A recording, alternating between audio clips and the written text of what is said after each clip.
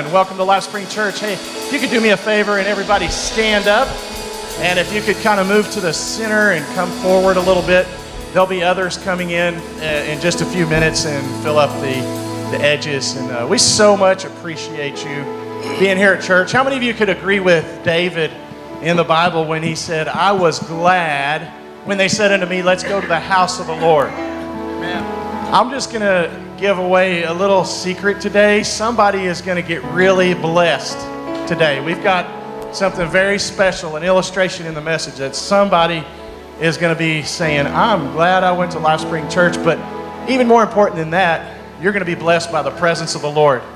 Because in God's presence, there's fullness of joy, the Bible says. So we want to welcome you today. We want to welcome you if you're watching on Facebook or YouTube.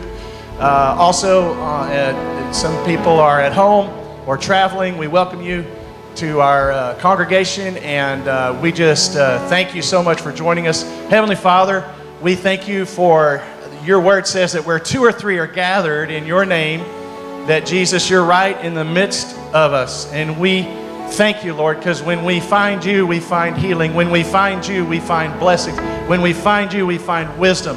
When we find you, we find the answers to all of our prayers and all of our needs. And we thank you so much. We know that you love us so much, and we want to love you back as we worship you today. In Jesus' name we pray. Amen.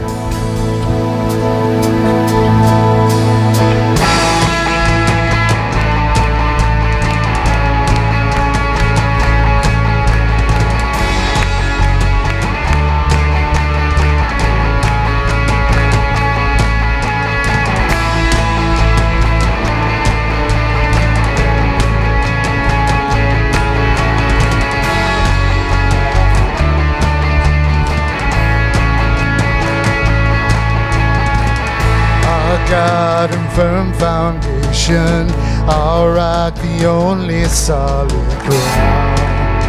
The nations rise and fall.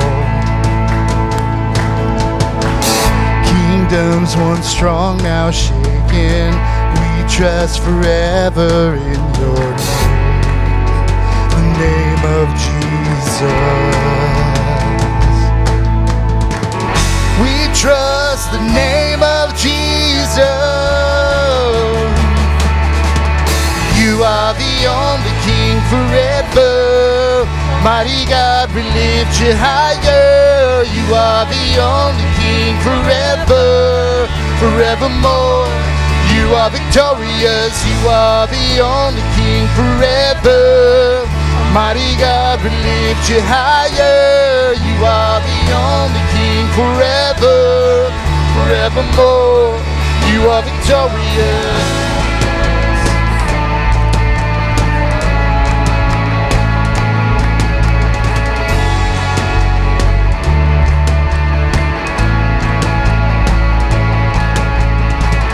Unmatched in all your wisdom, in love and justice you will reign. And every knee We bring our expectations, our hope is anchored in your name, in the name of Jesus. We trust the name of Jesus.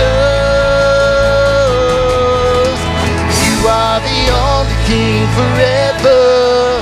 Mighty God, we lift you higher. You are the only King forever, forevermore. You are victorious. You are the only King forever. Mighty God, we lift you higher. You are the only King forever, forevermore. You are victorious.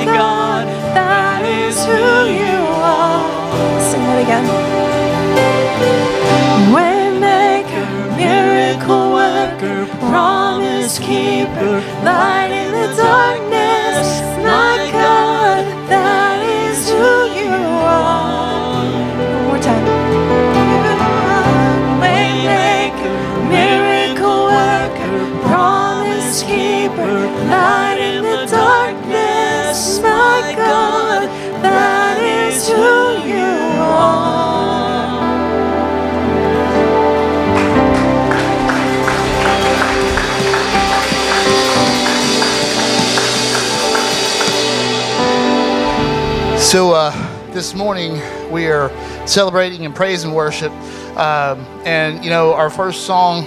We're, we're talking about who God is. He's the only King forever. God, the creator of the universe. Um, uh, the, the, the one who, who laid his life down for us. Uh, second song is Waymaker. We're talking about what God does.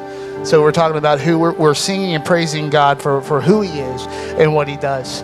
And we're going to sing about victory in Christ. And I want to say if you don't know who God is and you don't know what he does, you cannot take part in his victory. His victory comes, his ultimate victory is that we spend eternity with him. And his ultimate victory took place on the cross. It was on the cross when Jesus said, It is finished. He was done. Now we don't feel like we're done. We we we walk through this life and we we continue to uh, uh, we go through things with His help. We go through things, um, uh, but God, you know, uh, I love it when anybody says uh, uh, we know the end of the story. We read the back of the book first. We know the we know the end of the story. And as Rex has been, Pastor Rex has been talking about for the last few weeks, finding freedom that freedom, the ultimate freedom, comes in our relationship with Jesus Christ. And uh, that's the start. That's the very start. So if you know Jesus, then you're you've, you've already got that part taken care of. If you don't know Jesus, we want to invite you to know him. uh, there's not a day that you'll leave Lifespring without that opportunity. Um, but we want you to understand that freedom takes place. Worship and our praise to Him is what begins that freedom uh, for the for the gift, free gift that He's given us.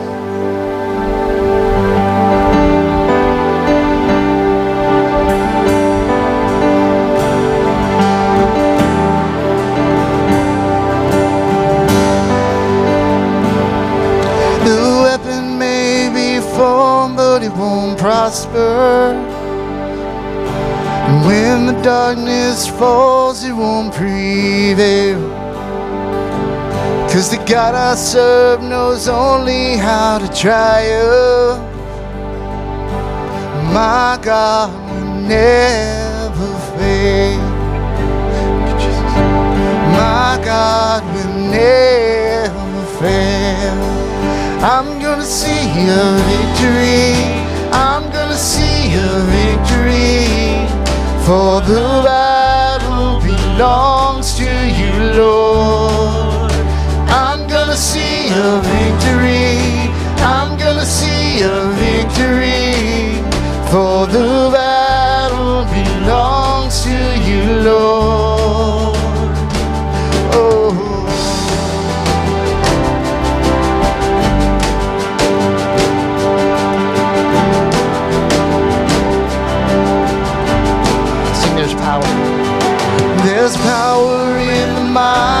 Name of Jesus.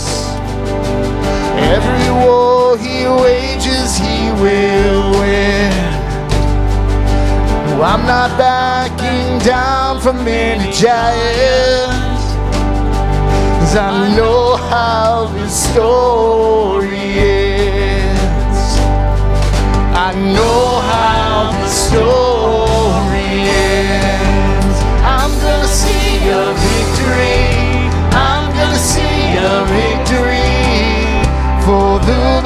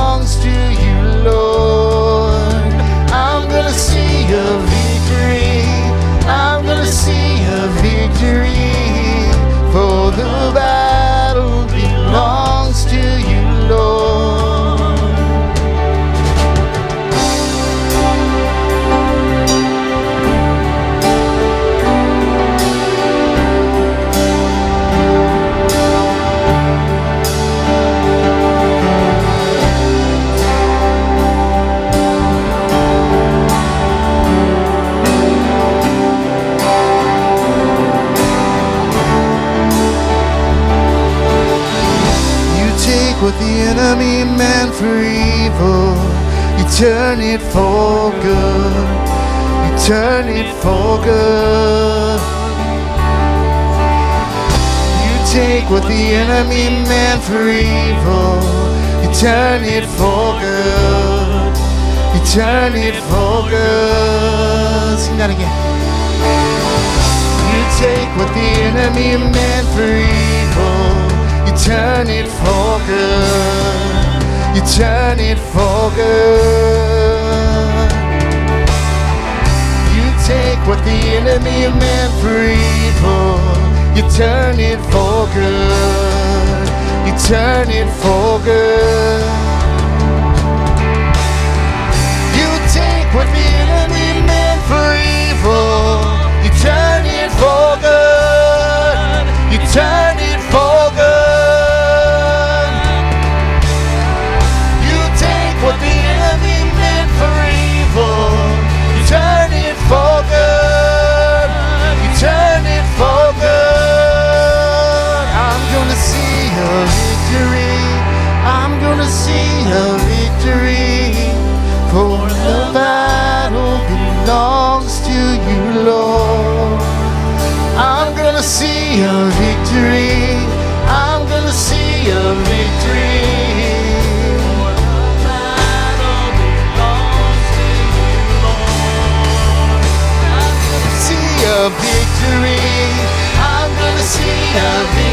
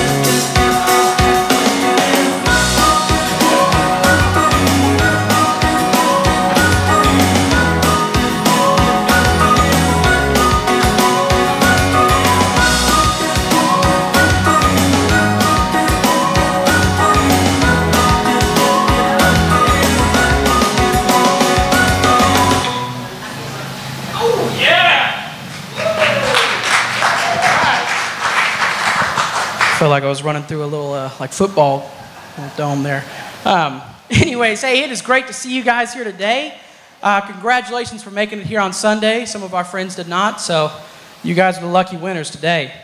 Um, hey, if you are an honored guest today, we would love to get to know you. We'd love to talk with you, find out how we can better serve your needs as a church. If you would meet with our head pastor right back there in that next step room, Christy, wave at everybody right back there. That door right there next to her. Um, that's going to be the door we meet at. Uh, if we can go back there, we have a gift for you. We'd love to get to know you, okay? Uh, secondly, how many of us know this church is all about our community, how we can serve our community, how we can better our community, how we can show Christ to our community? So, this October 30th, we have a chance for you to come out, to volunteer, serve with us. We're serving the community some, uh, some candy. We're having a great Halloween outreach. Yeah, yeah, heck yeah. Um, I'm not sure on a time yet, but I know it's on October 30th. 3:30. Look at that. All I had to do was turn around. Uh, so it's at Breezy Hill, the park at Breezy Hill. 3:30. Please be there at 3:30. Is that correct? At 3 o'clock for volunteers. Excuse me. If you cannot make it, however, we have another chance for you to serve your community. We need massive amounts of candy. As you know, we're serving an entire neighborhood, an entire community. Uh, they depend on us, they rely on us. So if we could have you guys donate candy, that would be phenomenal. Let's serve our community together and be together on this. Um, also, uh, we do not have youth this week since I'm the youth pastor. I'm going to go ahead and just do my own little spiel up here. But if you are a youth, we would love to get to know you. On October 30th, that night, actually, we're doing a pumpkin carving contest and we're also doing a costume party. Show up, be there, be cool, be cool, you know. I'll be, uh, I might be dressed as Blue's Clues, who knows. Um, we'll see. Huh? Oh, we also do have a cool. If you're a youth, meet with me afterwards. I'll show you the coolest room in this entire church. Not coolest as in cold, but coolest as in I'm so fly. You know, for some of you guys that are 40 and up. Um, oh, so, so, yeah, I know, I know. That's what I said. So, anyways, um, tithe and offering. Um, I just want to share with you guys a little testimony on my, my part here. I always have a bunch of testimonies on tithe. So uh, we, we got lovely fans out here installed for our kids ministry. Uh, thank you, George Guzman. I saw you here today. I know that. Thank you for your time and your effort you put in there. He helped head the whole project. We appreciate that. Um, I was telling Maddie, I was like, you know, I really feel like it's God is telling us we need to pay for something out there. We need to pay for the fans, something, or donate something that we can out there.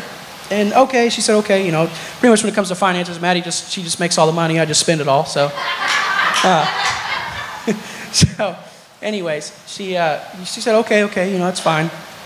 We, we go out there, so we, we decided what we could do together was $600. $600, we'll put it down. That's fine. It didn't cover the whole cost, but it covered some. And we were, we were happy that God told us to do that. And we were more than happy to follow God's word on that. Not more than two weeks later, uh, her job tells her, hey, so bit of an issue here. It's a little weird. We normally give you your bonus over a span of a year, a couple months, something like that. Um, we're just going to give it all to you in one lump sum, and it's actually $6,000. Exactly 10 times what we tied. So, I mean, God is so good. God will never fail you. God, you can never outgive God, and that is a promise. I have a, a bank account to guarantee it. Okay? So if we can all, we can all bow our head, close our eyes. Lord, we just come before you today, God, and we just want to say thank you, Lord. Lord, thank you for your blessings, God. Thank you for just everything you're able to give us. God, we thank you that you brought us all here today to hear a wonderful word, a wonderful message from our lovely head pastor. God, we pray that we accept this word. Pray that you bless the giver, bless everyone here. God, in Jesus' name, amen. Amen. Woo! How about how about my son, who I'm well pleased right there, Brennan? He's uh, he's kind of his own show, isn't he? I mean, you know, just uh, I love him, love him, love my kids, love my grandkids. Uh, in fact, I was I was gonna try to put a picture of my grandkids in this message, but I just couldn't burden with Amy with one more thing to do on the computer, you know. But hey, let's go to the Lord in prayer. Father, we're so thankful for this day you've given us. This is the day you have made, and we choose to rejoice in it and be glad. Lord, uh, we thank you for all the blessings we have. God, we live in the, in the greatest country in the world, and I believe in the greatest state in America. There may be others that differ, but that's okay, Lord. I've been born here, bred here, native Texan. And I uh, thank you for all of the blessings. I thank you for our, uh, our governor and our leaders and, and everybody, uh, Lord, and we lift them up and we pray for them, uh, Lord, and we uh, thank you and we honor their authority and we bless you. In Jesus' name we pray. Amen. Amen. All right, so a couple weeks ago, uh, we did a message in this series. It's about getting free. How many of you know that God wants us to find Him. That's first base. Find God. Then, second base is find freedom. Because a lot of people have strongholds and bondages and struggles and areas of weakness and sins and things that we just need to get the victory over, right?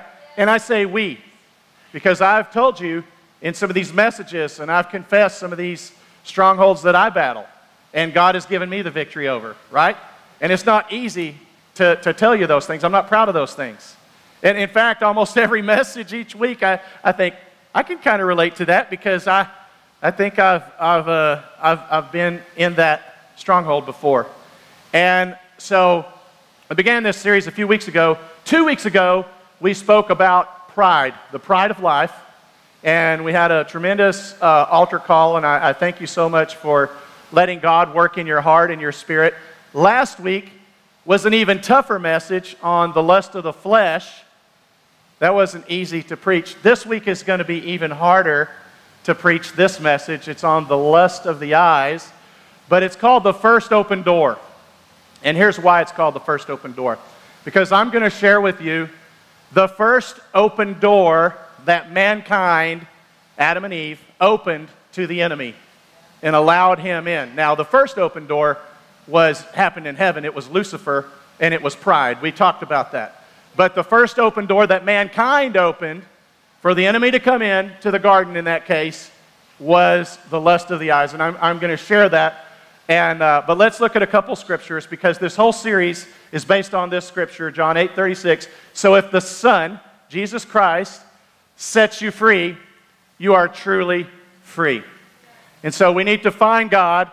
We need to find freedom. That's like second base. And then third base, this is our four pillars of our church, is to uh, find purpose. And then the home run is to make a difference with your purpose, right?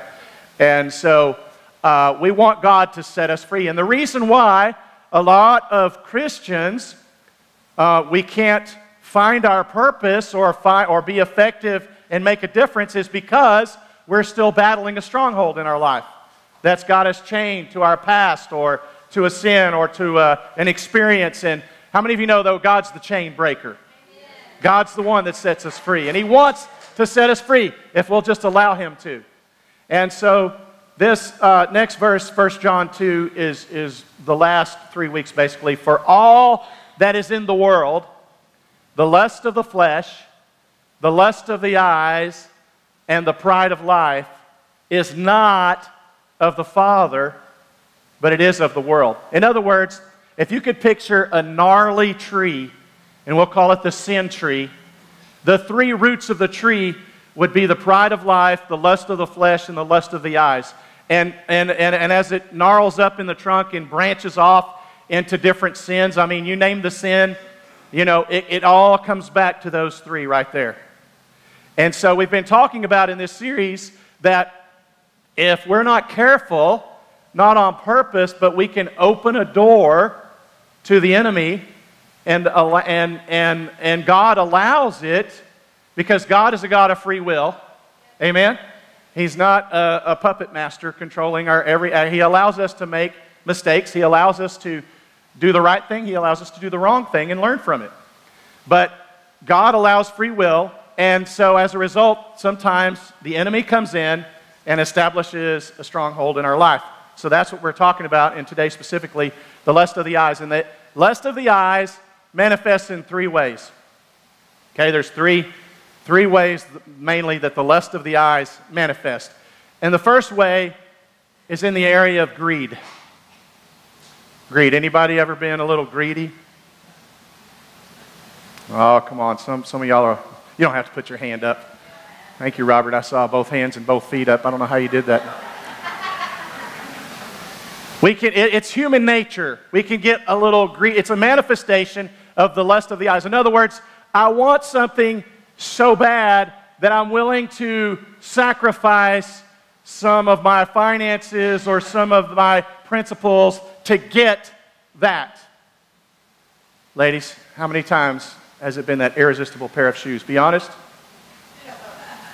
oh, I wasn't looking for hands. But no, you know, seriously. It can be anything. It can be, it can be, you know, it can be a barbecue grill. It can be a new house. It can be a, and there's nothing wrong with those things.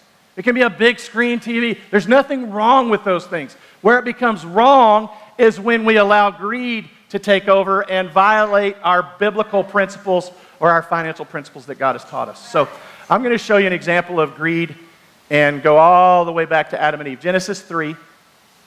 And as we look at the scripture, we know the story, right? That God said, Hey, I've created this beautiful garden for you, Adam and Eve, and I have this perfect plan for you. All you got to do, you can eat of any of the fruit of this beautiful garden, enjoy the garden, talk to the animals, because back then I think the animals could talk. I'll show you that here in a second. And, uh, you know, but don't eat of these two trees in the middle the tree of knowledge of good and evil or the tree of life. Don't eat, there, there's two trees in the garden in the middle that are mine. Don't touch them. Are you with me so far? Anybody sound familiar? And so, pick up there. Now the serpent was more cunning than any beast of the field, which the Lord God had made. And he said to the woman, which is weird, first of all, because the Bible says two things about this story. One is that the snake came walking up to Eve, which is kind of weird. Can you picture like a six foot long snake just, you know, kind of walking up and saying, Hey, Eve, how's it going? You know, I think that's, he probably had a British accent. Hey, Eve, how are you? Yeah. And uh, anyway, he said to the woman, Has God indeed said, you know, has God indeed said, You shall not eat of every tree of the garden? Do you notice the first thing that the devil did is he challenged the word of God? God had spoken a word don't touch these two trees. And, and the uh, first thing the devil does comes up and says, Hey, did he really say that? And still to this day, the devil will try to put doubts in our mind and say, Does it really say that in the word? And we justify our own sins, don't we? We rationalize sometimes. He said, Did he really say, You shall not eat of every tree of the garden? And the woman said, We may eat the fruit of the trees of the garden, but except the fruit of the tree which is in the midst of the garden, God said, You shall not eat it. You shall not touch it, or you're going to die. Isn't that what God said? Yeah, that's what God said. You don't touch it lest you die. And the serpent said to the woman, You're not going to die. Again, casting doubt on God's word. You're not going to die. And God knows that in the day you eat of it, your eyes, we're talking about the lust of the eyes, will be opened and you will be like God, knowing good and evil. And then the next verse says So when the woman saw that the tree, lust of the eyes, was good for food, that it was pleasant to the eyes, and a tree desirable to make one wise, In other words, the devil had somehow convinced her that this tree is better than any other tree in the garden. And she took of its fruit and ate. She also gave it to her wimpy husband, Adam, who, had he been a real man of God, would have stood up as soon as he saw the devil talking and saying things that doubt the word of God and say, Get out of my house. Men, listen up. If you need to tell the devil, get out of my house. I pray every day that prayer. Devil, get out of my house. In fact, you're not allowed in my house, devil. And I set boundaries of the blood of Jesus around my house, protective barriers. And my poor neighbors sometimes get bounce offs. of The devil attack. No, the devil still attacks. But you set boundaries and you tell him when he gets in your mind, when he gets in your wife's mind or your kid's mind or your spouse's mind, you can tell him, get out of my house. You're not allowed here. And if a man will do his duty, then we'll have a lot happier homes. Amen? Ah, a few of you like that. Okay, I'll keep going. And so she, uh, she gave it to her husband, and he ate. He was standing there all along, listening to the conversation, being quiet, being passive, not uh, protecting his home. And what a lot of people don't know is in Genesis 2 9, it says, Out of the ground the Lord God made every tree grow that is pleasant to the sight and good for food. So when Satan was saying, Hey, this tree right here is better than them all, in fact, God made all the trees desirable to the eyes. And he said, You can have all these trees. And it was also in the midst of the garden, the tree of the knowledge of good and evil, the Bible says. So here's the thing, and I'm going to preach on a very difficult example that over 80%, in fact, some studies show up to 90% of Christians today leave this door open. And when I say it, there's going to be a holy hush on the audience. Because what, I, what I'm about to say, over, like I say, 80 to 90% of Christians today do not practice the biblical principle of tithing. Why? Because of the lust of the eyes. And I'm going to give you three reasons why Christians, why we do these things. And I say we because I'm a Christian, but I'm uh, one that struggled with this in my teenage years and my early 20s, and I can tell you that they were the worst years of my life.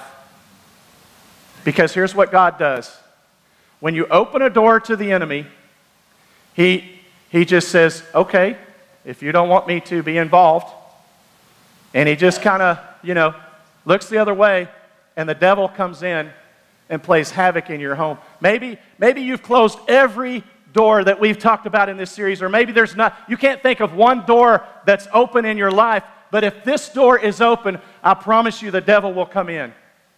And I'm speaking from experience, but I remember the day and it, right before I got married to my beautiful wife, Amy, which is such a blessing and such a godsend. Aren't y'all thankful for my wife? She's the glue that holds this church together. You know, uh, my aunt told me a long time ago, she's from New Zealand and she has an accent. And she said, Amy, do you know why you married Rex? And she goes, No, why, Valme? He said, Because you are here to straighten him out. And Rex, do you know why you married Amy? And I said, Why, Valmy? She said, To loosen her up. You know. so we make a good team. You know. But the best way to defeat greed is to practice the principle of tithing. And, and it's true, and some of you are going to love this message, and some of you just tuned me out. I hope you didn't just turn me off on the Facebook or YouTube or wherever. But I want you to listen because this principle changed my life. And when I decided to put God first, and I hear this story over and over and over, I'm going to share one at the end with you, that when they decided to do this principle, then it changed their life forever uh, because, because of the scriptures I'm going to share with you. But the best way to defeat greed is to practice principle tithing. In case you don't know, in case you're new to Christianity or you're new to the church or you've never you're not familiar with the principle of tithing, I have had people say, I tithe. And I say, oh, okay, well, you know, and, but I need prayer for my finances. Okay. And they say, yeah, what I, I, uh, I pay all my bills, I spend all my money, and whatever's left over, I give 10% of that to God. That is not tithing, but let me share what tithing is, okay? Just so you know, tithe means 10, a tenth, 10%. 10%. So let me just kind of get a little audience interaction. Will you help me with this? So, uh, how many plagues were there to test Pharaoh? 10, right. Can I hear you say 10? Okay, because I'm going to show you all through the Bible the scripture that the number 10 represents a responsibility or a test. Okay? So 10 plagues to test Pharaoh. How many commandments were given to Moses? Right.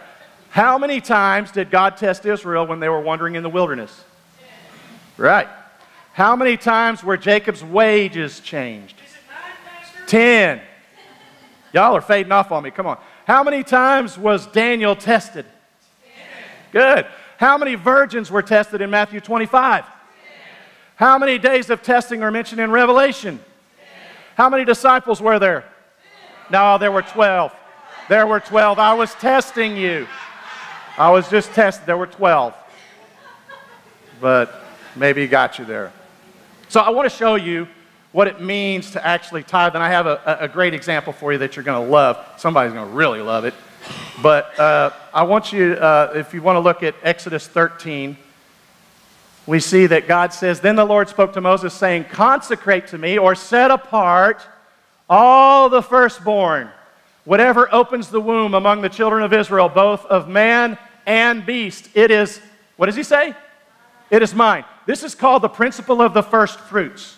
In other words, that if a farmer was raising some crops, the first vegetables that came up, the Bible says they were to bring that as a tithe to the temple, and then they could eat off of the rest of the crops, and God would bless the rest. Now, in our mind, we think, man, if I make $1,000 a week and I give God a 100 I'm only going to be able to live off $900. Is that right? Is that, is that, that's what man's mind says. But God says, if you'll trust me with the hundred that's already mine, I will take it and multiply it like I did those five loaves and two fishes, and I'll show you great and mighty things you don't even know about. And Ephesians 3:20 says, I'll give you things that blow your mind that you can't even imagine. Right?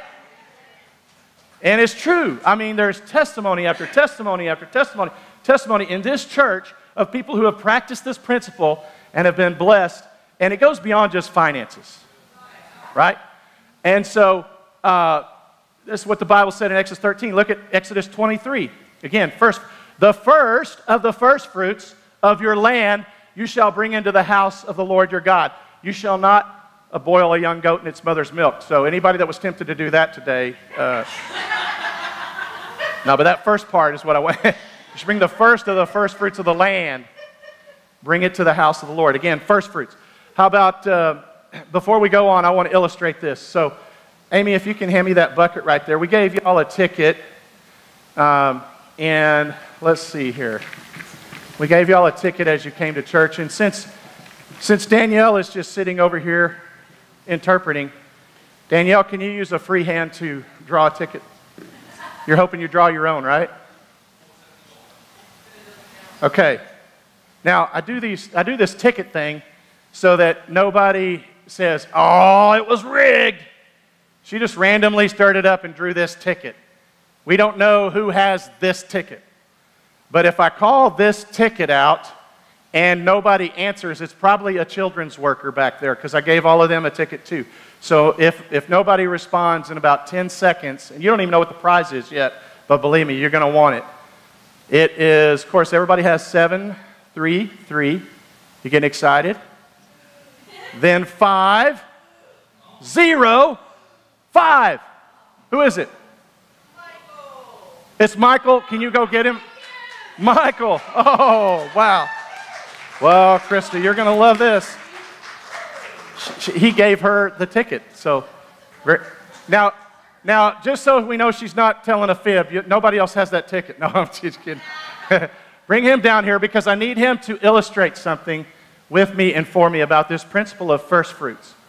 Okay? If you can relieve him, Krista, can you? He's outside. Okay. Well, Krista, can you come up and be in his place? Because Krista is his wife. In case you don't know, they're married. So the Bible says, the Bible says the two shall become one. So Krista, come on up here. Yep. Oh no, Krista.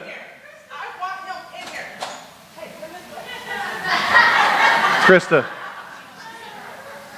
You can tell she's a wife. She knows how to give out orders, huh? Wow. Y'all like Michael Dennis. The man with two first names, Michael Dennis. Come on up. Michael Wayne Dennis. Michael, let me give you this. Michael, we're talking about the principle of tithing. All right. So right here, I feel like I'm on Let's Make a Deal, you know? I got one, two, three, four, five, six, seven, eight, nine, ten Benjamins. That's $100 bills. And so, Michael, how much money is that? Okay, good. You're good at math. I'm glad. Yeah, it's on. It's on. Oh, is it not on?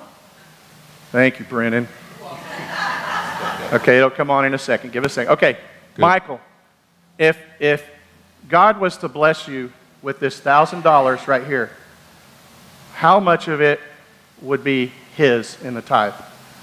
At least one, but I would probably end up giving another to somebody who needs it.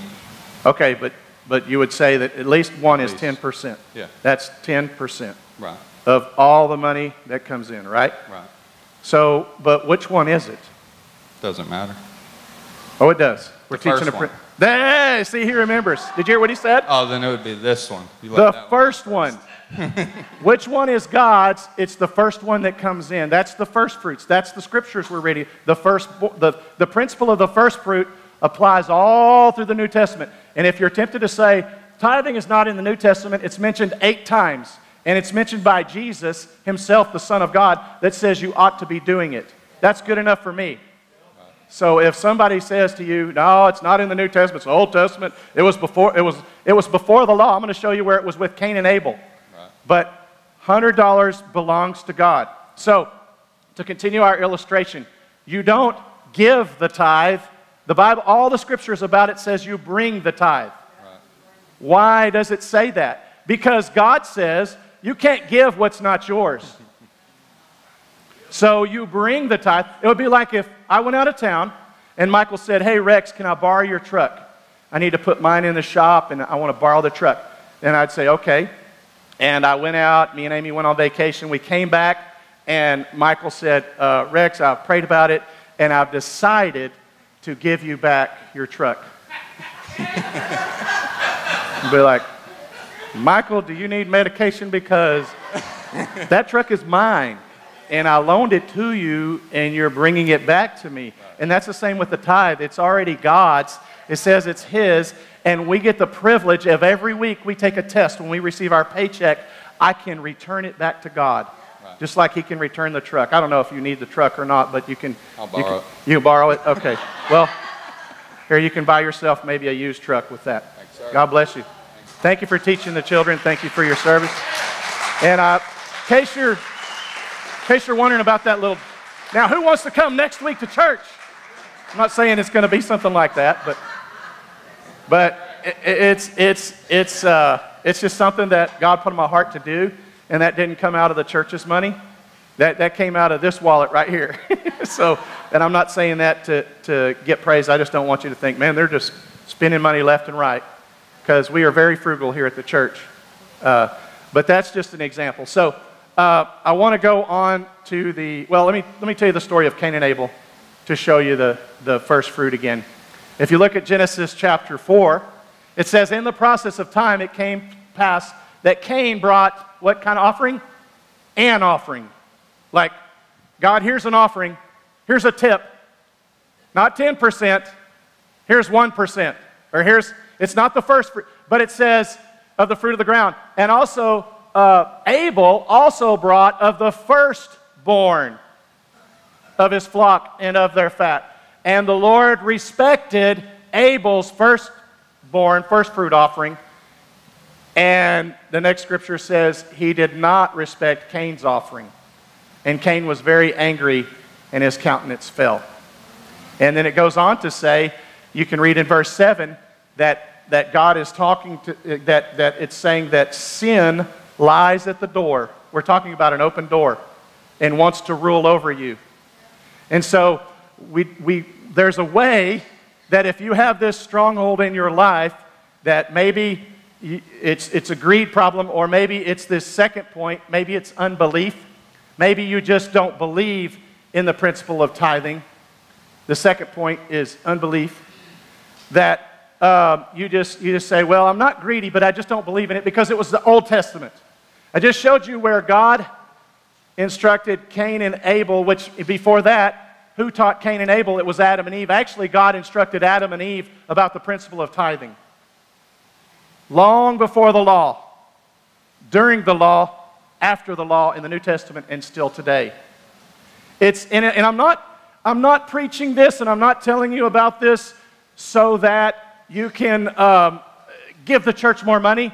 That's not what it's about at all. Anybody that knows me knows that's not my nature at all. I very rarely talk about this. In fact, if it's your first visit here or you recently come back to visit, we don't talk about this every Sunday.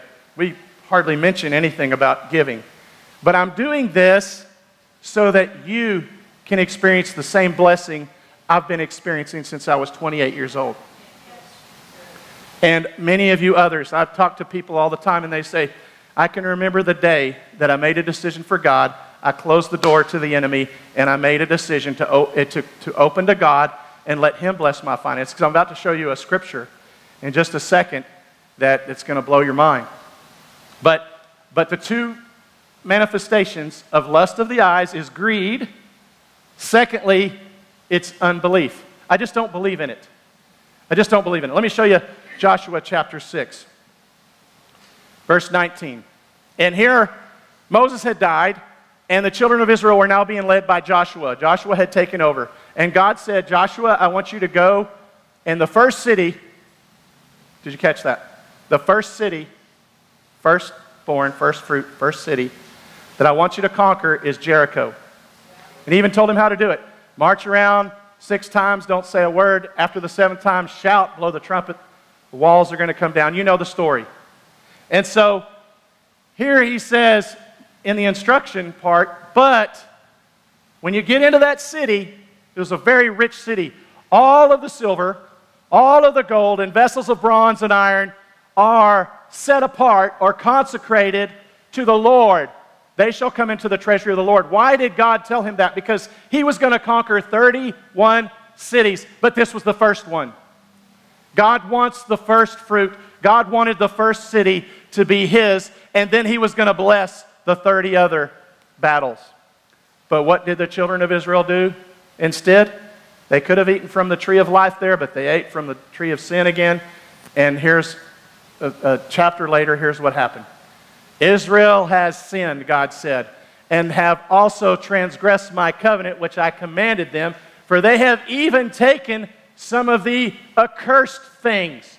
Because we know the story, there was a man named Achan who decided he got his eyes on the gold and silver and he just snuck a little bit for himself in the tent. And so God is holding them accountable now. And he says, They've taken some of the accursed things and have both stolen and deceived. First point was greed, second point was unbelief. And they have also put it amongst their own stuff. Listen, here's what the devil will try to do. He will try to talk you into stealing because I've studied the Bible over and over and over and over. And I promise you, when it comes to our test that we have when we receive our paycheck of giving back the Lord 10%, we have two choices. We can either steal it or we can return back what is His. I'm, i know this is a, a tough one and a gut punch, but I, you know, you won't hear this at some of the mega churches, but you'll hear it right here in this little church. And I hope you know that I love you, love you, love you so much, and I want you to be blessed. And that's why I preach this. Guess what? Thank you. I'll preach on I'll preach on hell too. And you know, I'll preach on all the uncomfortable things of the Bible. I'll, I'll preach on the fun stuff too. But in this case, they had taken. Now look at this next scripture. And, and I hear people say sometimes, well, you know, tithe, it's not in the New Testament, but it's in there eight times. And by the way, the virgin, virgin birth is mentioned only two times. Yet we believe in that, don't we? So just to say, well, only eight times is not, no, it's, it's a biblical principle. And so I want to uh, move on to uh, Malachi chapter 3. From the days of your fathers, and I could have backed up and started in verse 6 because verse 6 says, I am the Lord, I don't change. But verse 7 says, Yet from the days of your fathers you've gone away from my ordinances, which, what does the word ordinance mean? Ordinary principles. You've gone away from my ordinary principles and have not kept them. Look, return to me, God says. Return to me, and I will return to you. And you said, In what way shall we return? And I want you to watch how many times he uses this word. He says, Do not rob God. And then he goes on in verse 8 Will a man rob God? Yet you have robbed me. But you say, In what way have we robbed you? In tithes and offerings. Now, I want you to notice something because a lot of people say, if you don't tithe, God's going to curse you. That's not true. God says you are cursed. With it, the one that's going to curse you is the enemy. God's just going to uh, God's just going to step aside if if you open this door to the enemy. You are cursed with a curse, for you have robbed me, even this whole nation. He goes on to say, Bring, again, you can't give, you can only return. Return or bring all the tithes into the storehouse, which, by the way, that's the local church. I, I'm, I don't want to ruffle feathers, but it's not a missionary. It's not some TBN evangelist. It's not some mega ministry. It's the local storehouse. I, don't, I told someone the other day, I don't go to Walmart and write my check out to Kroger. And, right? And so uh, bring the tithes into the storehouse, the local storehouse, that there may be food in my house. Do you, do you get fed every week? I hope so. I hope so. There's good food in the house if you're hungry. Well, now it says, but God says, test me or try me in this. The only place in the scripture where God says, test me because in every other situation, God says, Don't test me. But in this one situation, He says, Test me, and I will prove to you, says the Lord of hosts, I will open the windows of heaven and pour you out such a blessing that there will not be room enough to receive it. And then it goes on to say, and like if you call right now, and this is the part I'm talking about, you, I will re- rebuke the devourer. So when Satan comes to attack your house, God's going to say, Not today, Satan. Some of you have the shirt. Not today, Satan. I'll rebuke the devourer for your sakes so that he will not destroy the fruit of your ground. Now, it's not to say that you'll never have a challenge or you'll never have an attack or you'll never have, but in general, it's like, you know, you, up, down, in general, God's going to see that you're blessed. And I promise you, you just heard a testimony from my son and daughter in law. God, God does not lie. And so, uh, so here's the deal. This scripture, it says rob. I, I want you to, to, to notice this. Do you know the difference between theft and robbery? Theft is stealing something from someone, and they may not be home. Robbery is taking something or stealing something from someone and their home. God says, You've robbed me.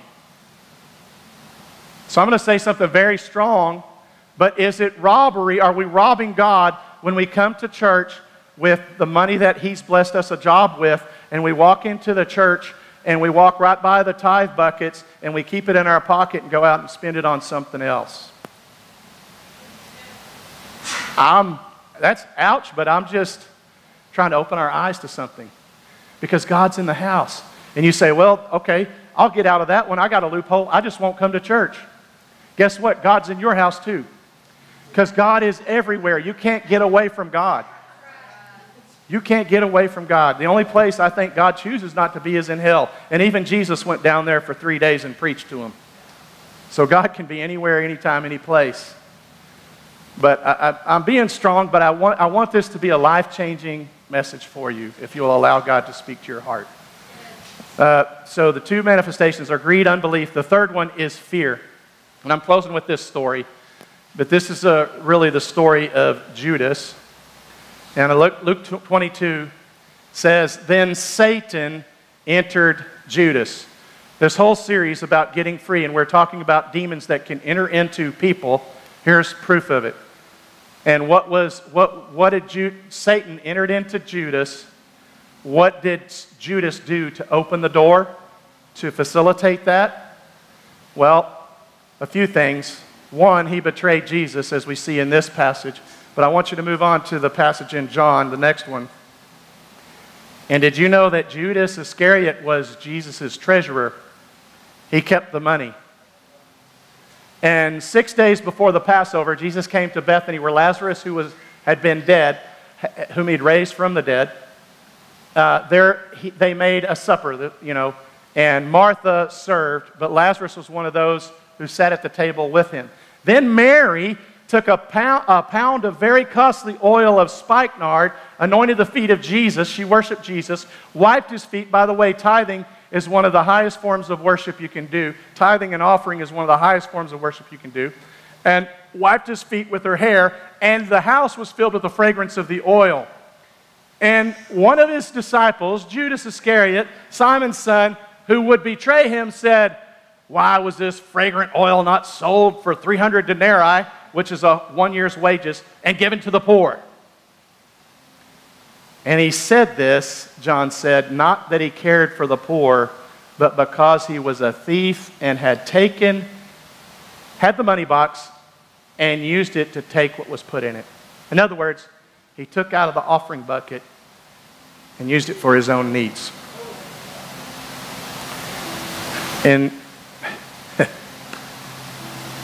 you know, do we do the same thing when we take God's first hundred that He gives us, or first ten, or first one, or whatever it is, and we use it for what we think we need because we have a fear that it's not going to work out financially. If I give God His part, my math says it won't work out. But if we trust God, if we trust God and we close the door, God will do miraculous things. Amen?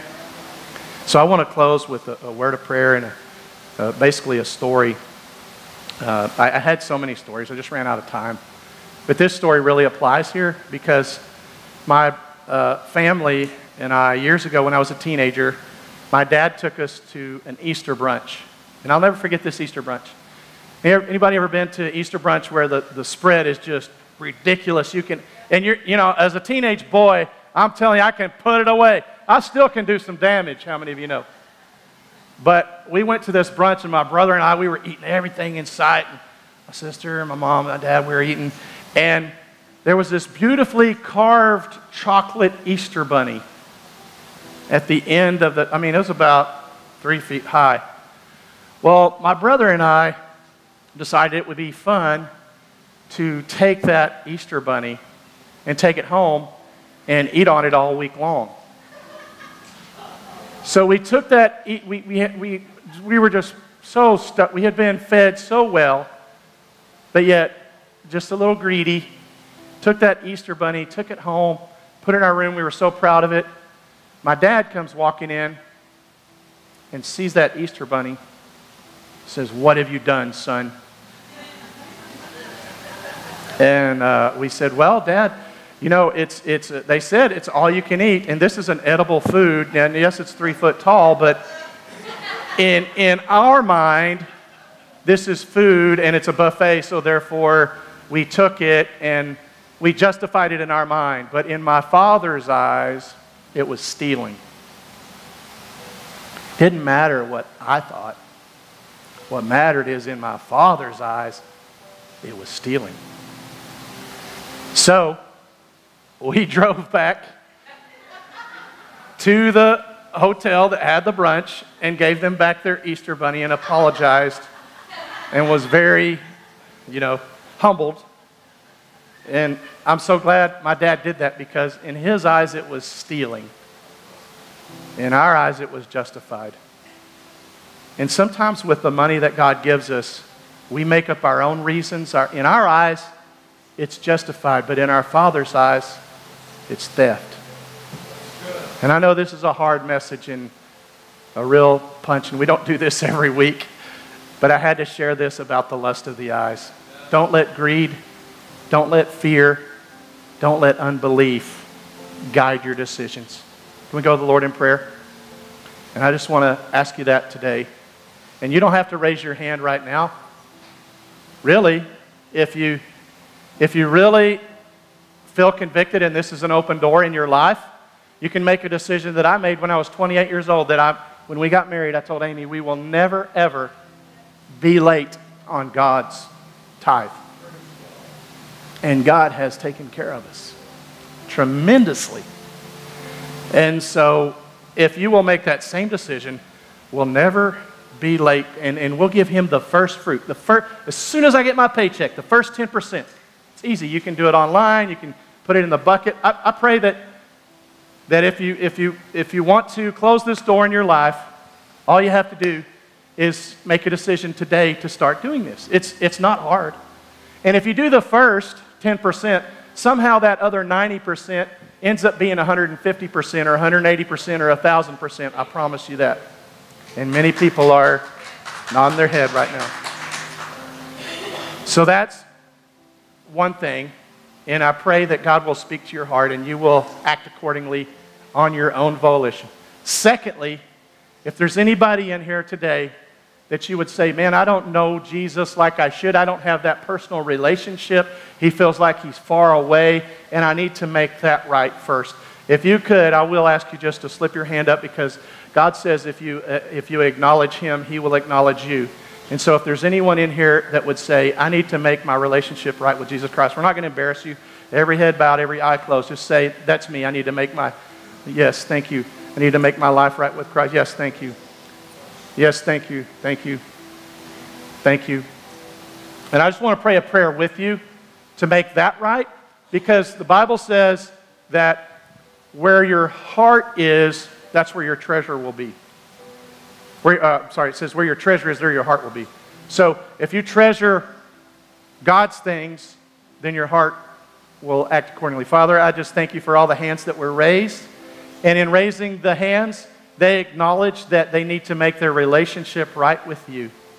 So, in your own way, those that raised your hands, I pray you pray a silent prayer today or a spoken prayer that says, God, I need you.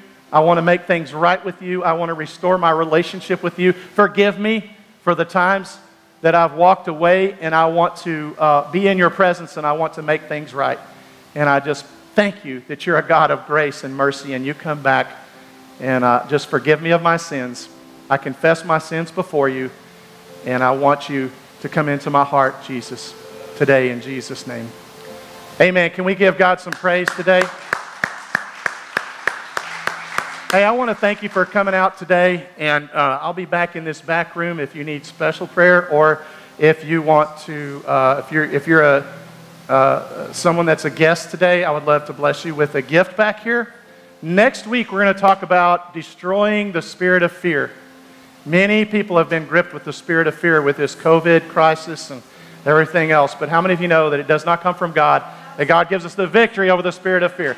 Hey, I love you. Y'all have a blessed day. Give somebody a handshake or a air bump or a high five on your way out. God bless you. Have a great day.